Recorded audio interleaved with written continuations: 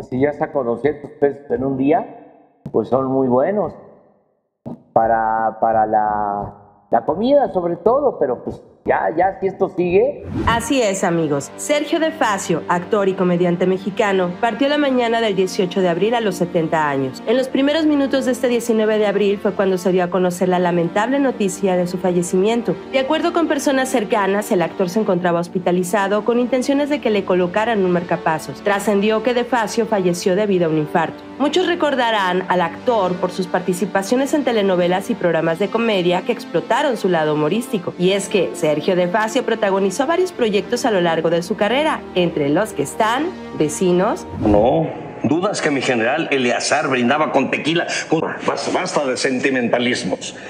Un balboa no debe sentir debilidad ante nada. Cuidado con el ángel, la fea más bella, un día para vivir, el premio mayor, la carabina de Ambrosio, Soñadoras, Mi corazón es tuyo, Carita de Ángel, Las vías del amor y La Rosa de Guadalupe. Cabe señalar que el actor y comediante trabajó tanto en Televisa como en TV Azteca, pero como un actor con tanta y tan exitosa trayectoria terminó de esta manera triste. Aquí te lo contamos. Empecemos con sus problemas de salud, pues en 2018 le detectaron cáncer tras acudir a una revisión al notar una bola en la cabeza que le iba creciendo con los días. En marzo del 2019 fue sometida a una cirugía en la cabeza para extirparle el tumor canceroso en el cráneo, la cual duró 20 horas. A partir de ahí su organismo empezó a tener otras afecciones. El actor partió sin tener nada para heredarle a sus hijos, pues todos se los dio en vida, como él mismo lo confesó en algunas entrevistas donde dijo, No tengo nada, o sea, yo no tengo nada.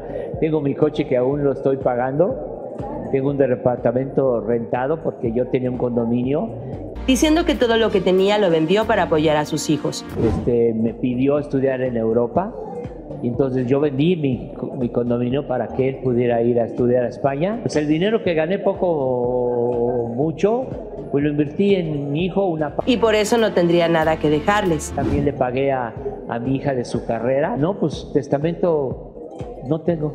Tengo mis muebles y mi, y mi coche que todavía lo estoy pagando. Aunque esto no sirvió de nada para que sus hijos con sus carreras ya culminadas pudieran apoyar a su padre, pues mientras ellos hacían su vida en la cuarentena, donde justamente las personas de tercera edad eran las más vulnerables y a pesar de su reciente operación, el actor se vio forzado a trabajar exponiéndose como taxista para poder pagar sus gastos básicos. Hay que, hay que trabajar, hay que, hay que vivir, hay que comer. Entonces, pues, este, aunque sea un ratito, pero vamos a trabajar de chofer a ver qué agarramos. Incluso para poder tener para comer.